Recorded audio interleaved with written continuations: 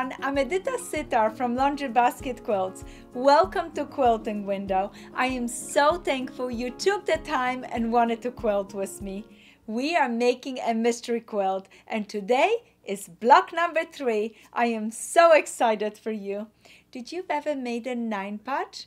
Oh, you did. I'm so glad yesterday and the day before we play with four patches. Today i have a really cute variation of a nine patch for you and you look like you're ready set go for the little challenge.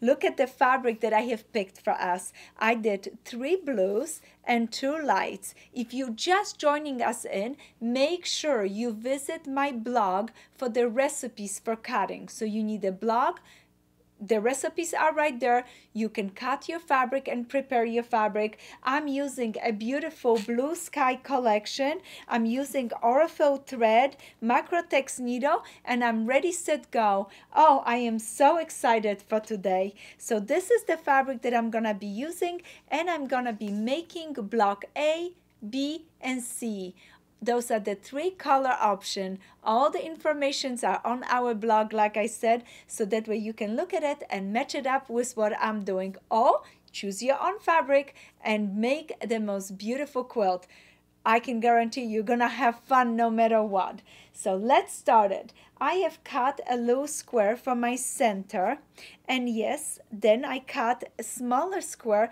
for my corner. This is a variation of a nine patch because you have one, two, three by one, two, three patches that makes nine patches together. And look at this cute little light that I brought it right here. This is gonna be perfect. This is the block that we're going to be making. I'm gonna start by sewing my pieces into three rows just by placing the blue over the light sew it right here then here sew it then go ahead and move to the middle row. Sew this to this and this to this just like this and go ahead and finish with the last row right down here. So and so and I have prepared those already for you so I have the top row bottom row and the middle row. I'm gonna be pushing my seam allowance towards the blue. Do you see it? I pushed it towards the blue, really nice, towards the blue. Then I'm gonna go ahead, place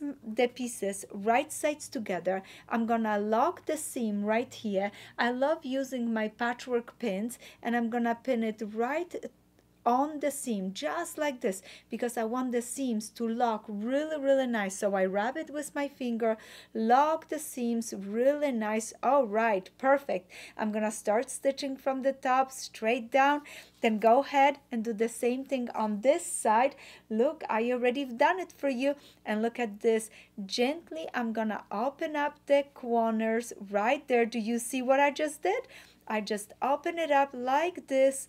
Oh, look at this. You're to give me a really nice, beautiful transition point right there. And I'm to do the same thing on this side.